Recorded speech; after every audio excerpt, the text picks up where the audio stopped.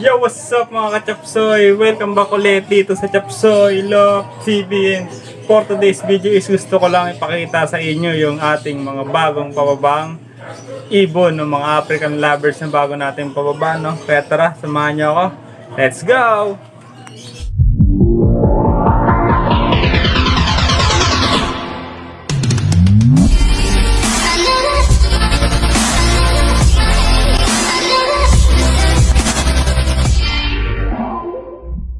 So yun, syempre para makita natin yung aking mga bagong pababang ibon, pasok muna tayo sa ating ibunan. Yan. Ditali lang yung aking pintuan. Kasi yan, dito lang to sa may terrace ng aming bahay. So yun dito may mga pababa ako dito yung mga visual na visual na pula kung nakita nyo sa mga nagdaang kong vlog ko eh kinuha ko na yung dalawang visual dito at may naiwan pang isang hindi visual na pula mata pero opalite na so yun nandito nga yung mga binaba ko na pula mata yan no? gaganda so yan isang ah, may ilap halatang mga bata yan ang gaganda oh. hmm. Crimino opaline at Lutino opaline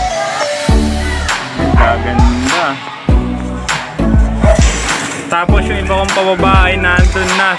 Doon na nga sa may sites ko sa kabilang ibunan no? bali mamaya sisilipin din natin yun. Pupunta tayo doon sa ibunan natin sa kabila.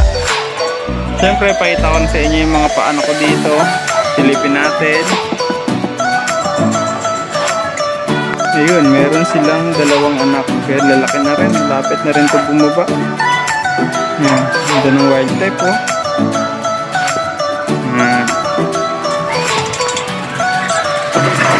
tapos syempre dito meron ding dalawa rin yata at tatlo. Lipin natin. Ayan lalaki na rin pala. Tatlong piraso. Lalaki na rin malapit na rin yan. Siguro mga 2-3 weeks bababa na rin yan. Tapos nandito nga pala yung kapatid ng visual artist natin. Yung nasa dulong green yan pinarisan ko na siya ng DFU wing na opa. Sana mag-produce din ng red pack ko tapos tara punta tayo sa kabila. Silipin natin yung mga iba nating pababa doon. A few minutes later. So bali yun mga kachaps so, hindi ito nga pala lahat ng mga pababa ko na ibon. Yan. Yung mga bata na kapatid din ng post RF eh nandyan din mga opaline post pale split ino. Yan nandyan lahat magkakasama dito. No? yan papakita ko sa inyo. Yan may ilap yan, ang dami yan ayan yan split ino yung green. Post yung aqua. Olive opa lang yan opa line lang ang karga nyan yan mga kachape ang dami.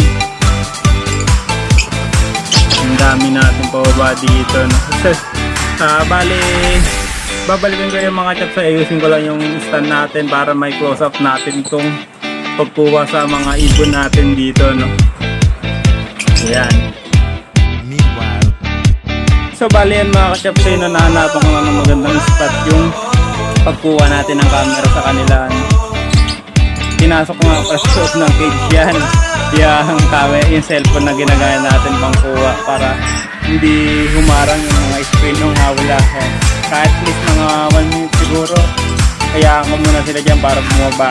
Makita natin yung ganda ng mga ibon dito sa flight cage ko.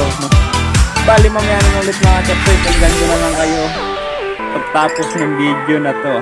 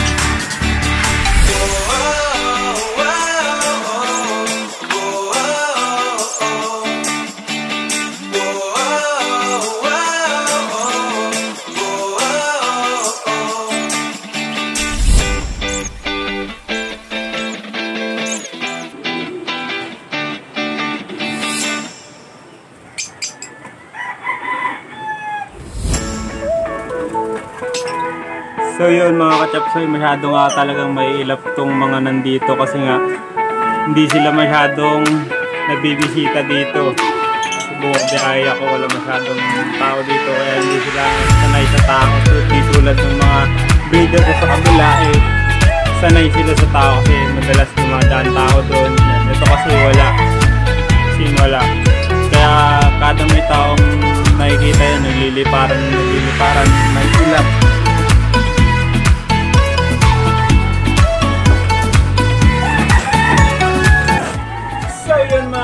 Mga kachapsoy naman magustuhan nyo sana yung video yung i-upload ko sa araw na ito. No? Yung ipon nga naman ay sadyang nakaka-relax. Talaga ang lamig nila sa mata lalo yung magagandang kulay tulad ng mga green. Yan mga gustong gusto kong kulay ang green yung opahan. Ang lamig sa, ang lamig sa paningin ganyan yung mga white type. Kaso wala pa akong mga type dito natin pag pinaan ko pa doon sa kabila. Yan yung mga gusto kong ibigay kasi napaka-relaxing na kulay ng mga yan. Mga pino opa, yan, mga aqua na parko. Ang ganda sa paningin. No? Sana nagustuhan niyo itong video na to at ito walang tatapusin. No? Please like, share, and subscribe my YouTube channel. Bye!